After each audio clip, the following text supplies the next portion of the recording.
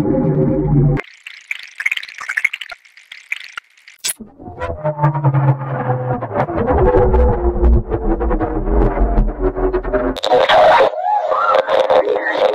my God.